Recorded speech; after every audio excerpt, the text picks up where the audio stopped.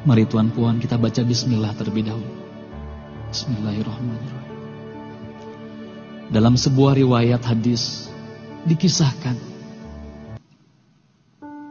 ketika itu baginda tengah duduk berkumpul bersama sahabat-sahabatnya. Di antara para sahabat ada Sayyidina Umar, Utsman, Ali, Abu Bakar dan yang lainnya. Lalu kemudian baginda bertanya kepada para sahabatnya. Wahai sahabatku, tahukah kalian siapakah hamba Allah yang mulia di sisi Allah? Para sahabat terdiam. Lalu kemudian ada salah seorang sahabat berkata, Para malaikat ya Rasulullah, merekalah yang mulia. Baginda berkata, Ya, para malaikat itu mulia. Mereka dekat dengan Allah dan mereka sentiasa bertasbih, beribadah kepada Allah. Tentulah mereka mulia.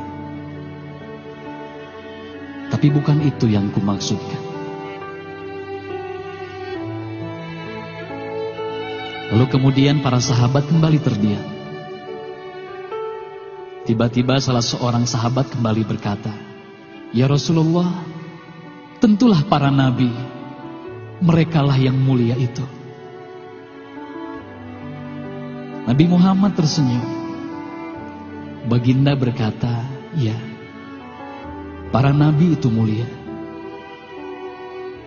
Mereka adalah utusan Allah di muka bumi. Bagaimana mungkin mereka tidak mulia? Mereka mulia. Tapi ada lagi yang lainnya.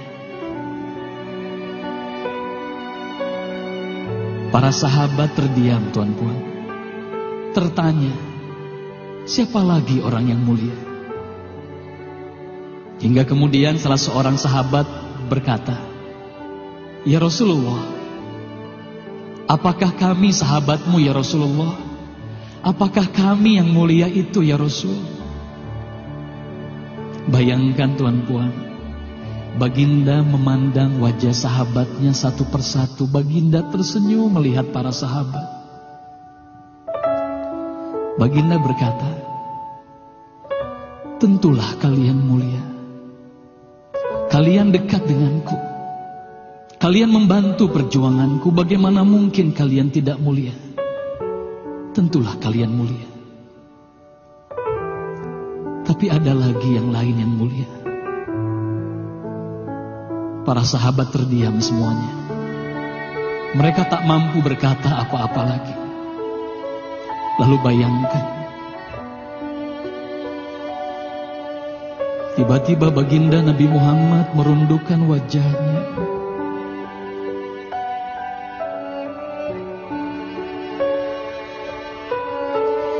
Bayangkan tiba-tiba baginda Nabi Muhammad menangis di hadapan sahabat-sahabatnya.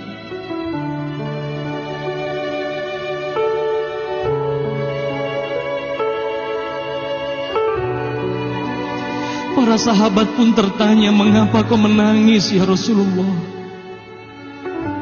Lalu bayangkan baginda mengangkat wajahnya. Terlihat bagaimana air mata berlinang membasahi pipi dan janggutnya. Baginda berkata, Wahai saudaraku, sahabatku. Tahukah kalian siapa yang mulia itu?